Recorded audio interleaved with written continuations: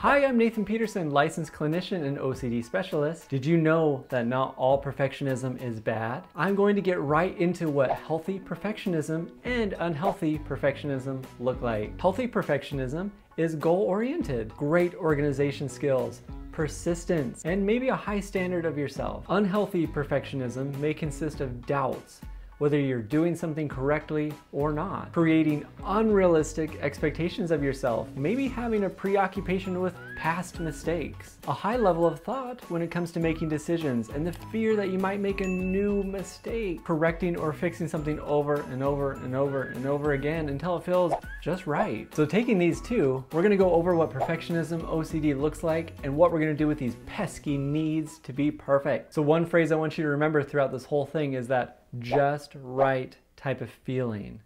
Individuals may have this intense emotion, often mixed with anxiety, if something is wrong, even if it's not. They may spend hours trying to correct something or do a behavior until this feeling is okay, until it feels just right. This could be reading something over and over and over again, just because the brain says you have to. And if you don't do it, you probably won't get that 100% on that assignment.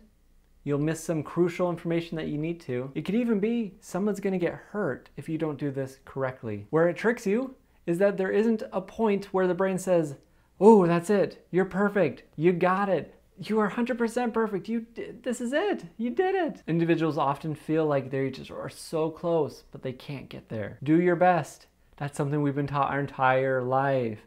Our whole society is based off of succeeding, competing with each other. But this advice actually starts controlling your life.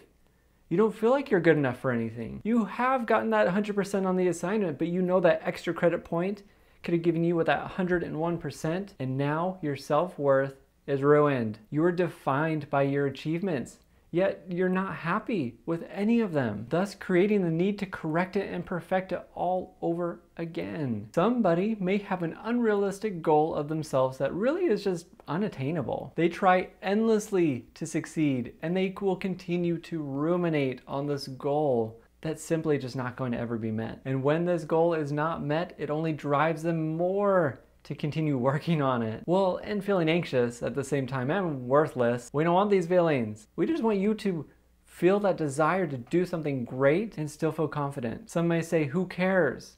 If someone has this high goal of themselves, that shouldn't matter. Well, the difference between someone setting goals versus perfectionism is that perfectionism, they're feeling lots of anxiety, a lot of repetitive behavior, and often unnecessary. And it actually doesn't take them closer to the goal they think they're going towards. In short, perfectionists make no room for mistakes. They may be so preoccupied with the past mistakes that they've made and fear the future because what if they make another one? They may see others around them and have these high expectations and standards for them as well, not even just themselves. So this is what we're gonna do about these pesky needs to be perfect after I tell you about the sponsor NoCD. The NoCD app can help you on your journey. They offer affordable real therapy right on your device. For those looking for effective treatment, see if they take your insurance and head over to www.treatmyocd.com. So in short, we are going to mess this all up.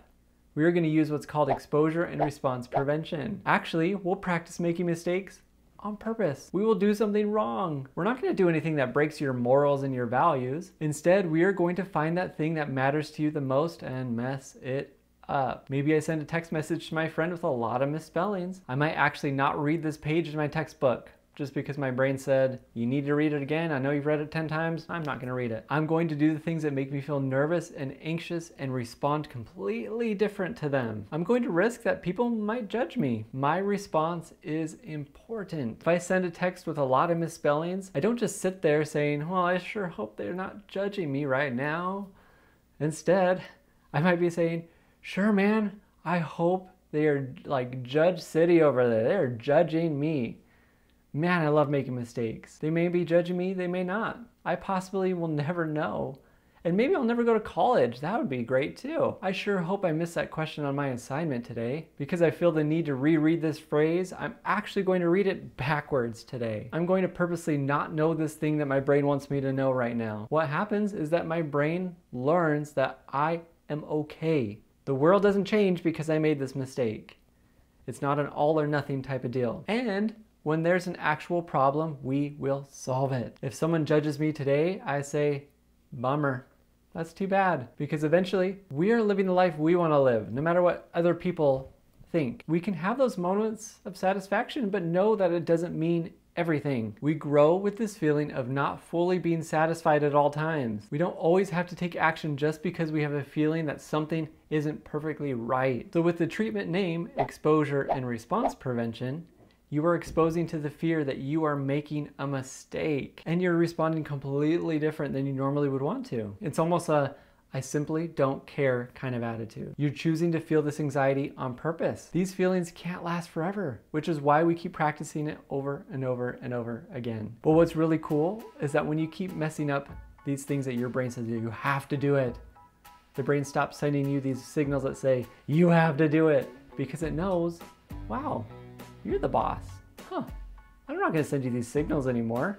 You don't seem to be following what I want you to do. But you got to sit through a lot of that anxiety for a little bit for your brain to learn. What mistakes are you going to make today? How can you be imperfect? You know what's related to a lot of perfectionism? This feeling of just right, which is talked about in this video on the screen. Go to it right now. See if you experience this as well. A lot of people do. Thank you so much for watching, and I'll see you next time.